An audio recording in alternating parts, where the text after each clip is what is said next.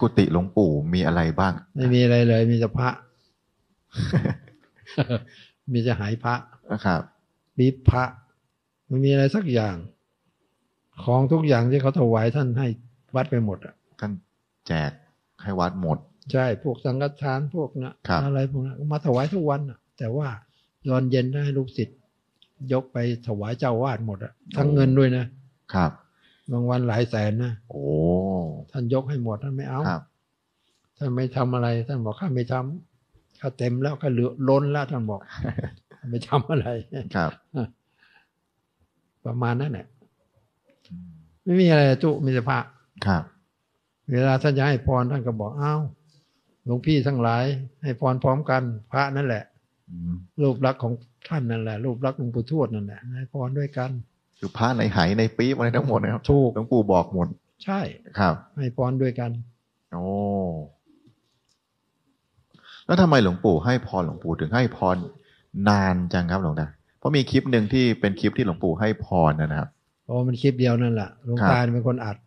คลิปนั้นหลวงตาเป็นคนถ่ายไว้ถูกเอาเทปมา ไปถ่ายเทปจากโรงจำนำมาใหม่ๆแล้วโอ้เทปเป็นม้วนๆมาเห็นในสมัยก่อนนะม้วนดำๆนะครับอ่านั่นแหละครับ พอถ่ายพออัดเสร็จหลวงตาก็ให้น้องสาวไปอืมก็เอาม้วนมาก็ต่อม้วนไปเรื่อยๆครับเมื่อก่อนมันเป็นม้วนอะโอ้มันก็มีรถเสียงรถตุ๊กๆเสียงนะเขาตัดออกที่หลังอ่าหลวงตาได้บุญอีกแล้ว โอ้โห ต้นบุญอีกแล้วนะหลว งตาคิดออกได้ไงว่าต้องเอาไปถ่ายตอนนั้นเนี่ยไม่รู้เหมือนกันนะมันมาหรือคิเพิ่ดงได้เองเครื่องมาใหม่ ๆ แล้วลองเทสดู ไม่รู้เหมือนกันนะถือไปทำเลยมันหนักด้วยมันใหญ่ด้วยนะตุ๊ครับ โอ้มันไม่ใช่เล็กๆนะ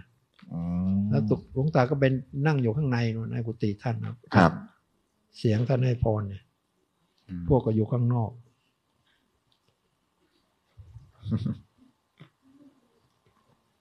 ก็มีคนอยาก ฟังเรื่องหลวงปู่อีกนะครับหลวงตาอย่าฟังเลย เดี๋ยวจะติดอ๋ออ้าวก็บอกกันแล้วกันว่าหลวงปู่ถ้าใครจับท่านได้ นึกถึงท่านได้ก็ชีวิตนี้ก็ ไม่มีอะไรแล้วอยากได้อะไรก็ได้อะครับ ท่านพูดอย่างนั้นนะพูดถึง อืม อย่าไปขึ้นอื่นก็ถ้าไปขึ้นอื่นเดี๋ยวขึ้นเปลี่ยนคำว่าจับหลวงปู่เนี่ยครับก็นึกถึงท่านบ่อยๆไงอ๋อ ใช้ใจในการจับใช่ครับนึกบ่อยอืมๆอธิษฐานท่านอยู่บนหัวเราเลย หรือไม่อยู่สองข้างก็ได้จักรพรรดิข้างบน แม้แต่ถึงแม้เราไม่เคยได้เจอหลวงปู่แต่เรานึกถึงมอท่างนเห็นรูปอยู่อะครับสายใยของท่าน บารมีท่านก็อยู่ในรูปนี่แหละอืมรูปท่านก็คุยได้ ครับ คุยได้ทุกเรื่องสำหรับหลวงตาคุยได้ทุกเรื่อง แต่ยกเว้นเรื่องหวยกันเองแต่คนอื่นเขาก็ขอท่านได้อยู่นะครับอืมคุยง่ายอะคุยกับหลวงพ่อง่ายสุดแล้ว ใช้ความรู้สึกเอาครับ คุยบ่อยๆ มันก็จะมีเสียงตอบรับ เป็นความรู้สึกนั่นนะ ที่แม้ชีวิตเราก็เริ่มไม่ได้ไปไหน มันก็อยู่กับท่านไงเพราะเราห่างท่านไม่ได้อะครับ มันก็เลยปกติอ่ามีคนถามเรื่องของศาลหลักเมืองนะครับ หลวงตา อย่างเช่นว่าเขาอยู่จังหวัดไหนเขาจำเป็นต้องไปสวดมนต์ไปไหว้ศาลหลักเมืองจังหวัดนั้นๆ และควรจะต้องอธิษฐานแบบใดศาลหลักเมืองอะครับ ศาลหลักเมืองกับเจ้าเมืองเก่าแถวนั้นน่ะเจ้าเมืองกับเจ้าเมืองไหนที่มีความสำคัญมากก็ก็เอามาเป็นหลักเมืองครับเพื่อที่มีประโยชน์ในพื้นแถวนั้นน่ะ เข้าใจไหมอืมหลักเมืองอะมีทั่วไปครับ หลักเมืองเมืองบางจังหวัดก็เป็นผู้หญิงนะเจ้าเมืองผู้หญิง พังงาเนี่ยผู้หญิงนะผมเป็นเจ้าเมือง ยังไม่เคยไปครับเป็นนางครับนางฟ้า เป็นเจ้าก็เป็นเจ้าแม่หลักเมืองเป็นเจ้าพ่อหลักเมืองครับ ส่วนใหญ่คือหลักเมืองนี่ก็คือคนที่เขาเคยดูแลเมืองหรือจังหวัดนั้น ๆ มาก่อนในอดีต มีมีบารรมีมากที่สุดหลักเมืองตอนนี้ก็คือ นครศรีธรรมราชทำไมถึงเป็นอย่างนั้นโพธิสัตว์ที่เต็มเลยโอ้แต่ไม่ใช่หลวงพ่อนะครับนั่นแหละตรงเนี้ยบารมีเยอะสุดครับ เพราะฉะนั้นหมายถึงว่าถ้าเกิดเราอยู่จังหวัดใด เราก็ควรที่จะต้องไปโหเราเกิดไม่ให้ท่านเราเกิดไม่ใช่ชาตินี้จังหวัดเดียว เราเกิดไม่รู้อีกกี่จังหวัด มันก็ที่ไหนเราก็ไปอธิษฐานที่นั่นนะอ๋อหมายถึงว่ามีโอกาสได้ไปจังหวัดไหนใช่ก็ควรจะแวะไปจังหวัดนั้นนะอย่างวันนี้เขาเลี้ยงเจ้าเมืองไม่เห็นนะผ่านมาเนี่ย เจ้าหมู่บ้านเขาเรียกเจ้าเมือง เขาเลี้ยงกันเมียนแถบนั้นที่ที่ทางเมืองหน้ากับข้างๆนะเขาจุดประทัดกันตุ้มๆนั่นนะนึกว่าอะไรไม่ใช่เขาเลี้ยงเจ้าเมืองเจ้าบ้าน แล้วอย่างนี้ถือว่าเป็นประเพณีความเชื่อของแต่ละท้องถิ่นโชคครับ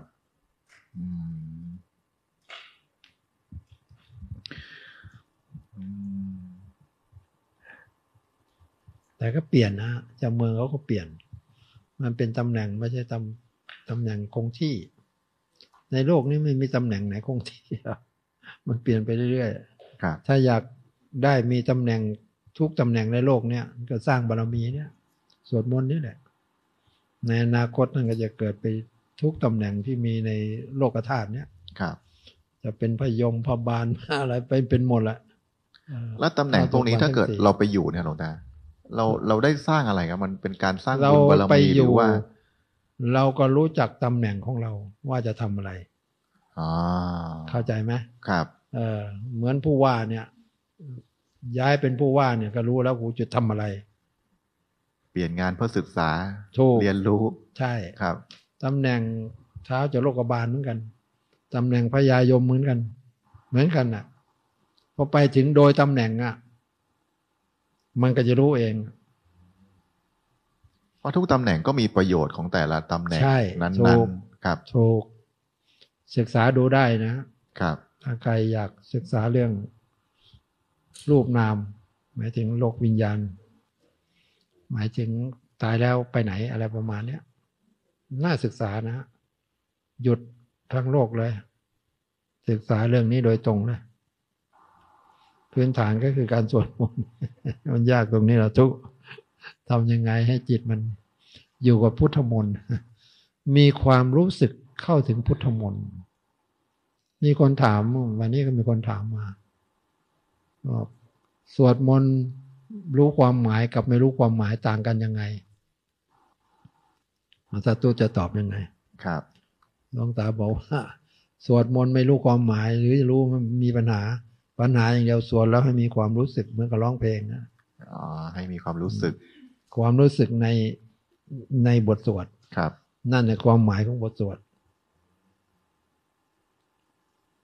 ความหมายจริงๆนะไม่ใช่คำแปลนะในคำแปลมันคำบาลีมันอาจจะแปลผิดก็ได้ ครับ เพี้ยนเป็นหน่อยก็ได้ แต่ความรู้สึกนี่มันไม่ได้เพราะมันเข้าถึงความรู้สึกครับ อย่างเพลงเศร้าเนี่ยเอาตุเพลงเศร้าเนี่ย ถ้าเรามีความเศร้าอยู่เราถามว่ามันจะเศร้าไหมทำไร น้ำตาไหลไหมไหล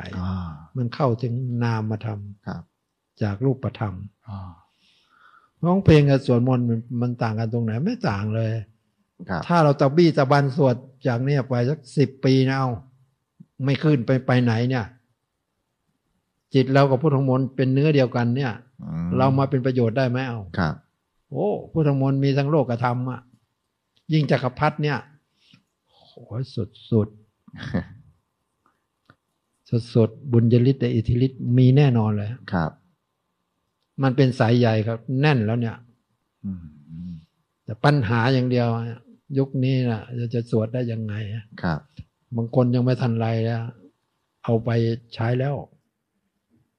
ถ้าฝึกไปอีกหน่อยเนะยิ่งกว่านี้อีกอะใช้จิตอย่างเดียว สวดมนต์ให้เข้าถึงอารมณ์ มันก็คล้าย ๆ กับว่า เวลาที่เราฟังเพลงฝรั่งหรือเพลงเกาหลีที่เราไม่รู้ความหมาย แต่เราฟังแล้วมันเพาะจังเลยมันอ๋อแต่ถ้าฟังจริงๆรู้ความหมายด้วยนั่นน่ะ รู้ด้วยนะครับ รู้นะแล้วใครร้องหน้าตายังไงด้วยนะถ้ถ้าศึกษาในพุทธศาสตร์จริงๆนะสวดมนต์นี่นะตัวหลักครับหลักเนี่ย ความรู้สึก ใช้ความรู้สึก เราความรู้สึกเราเวลาเราไปนะขนลุก เรายังไม่ไม่รู้อะไร แต่ถ้ารู้สึกไปนานๆเนี่ยขนลุกเอ้าวิญญาณนี่หว่า ครับ จากขนลุกเปลี่ยนแล้วเนี่ย วิญญาณที่เราเห็นเนี่ย มันมาจากไหน เป็นพรมเป็นเทวดาเป็นผีเป็นเปรตอะไร เป็นความรู้สึกครับ ในความรู้สึก